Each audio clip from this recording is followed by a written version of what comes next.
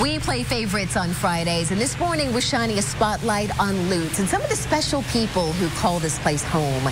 September is National Childhood Cancer Awareness Month. A 12-year-old at Lutz K through 8 school is leading the way in fundraising. Finding a cure for cancer is personal to him. What he just accomplished is the reason that I'm so proud to add him to my brag book today.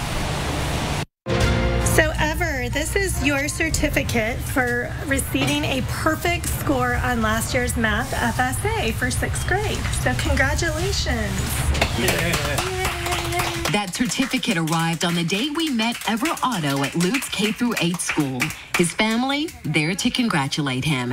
Getting a perfect score is a huge accomplishment for this now seventh grader especially since it happened during what was the most difficult time of his life. As horrible as the pandemic was for everyone else, you know, we saw it as a little bit of a, a little, you know, silver lining because it meant that we could we could actually be together as a family.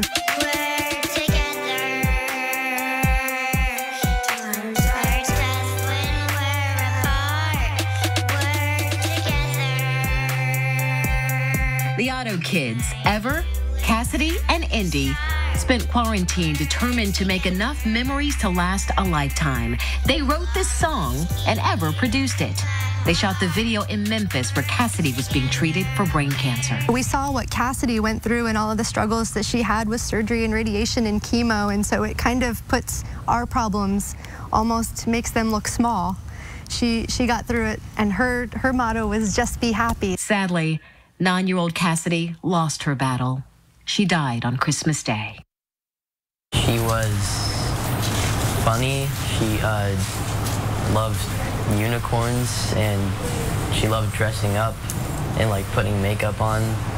She loved sparkles and stuff. And she loved avocados, not eating them, just drawing them. She also loved to run. Cassidy ran about a dozen 5Ks and she always enjoyed that we figured it would be a good way to raise money for cancer research, which is, you know, our number one goal in having the race there, um, along with bringing the community together. So using his incredible technology skills, Ever got right to work. He um, fully designed the website for the race that we put together.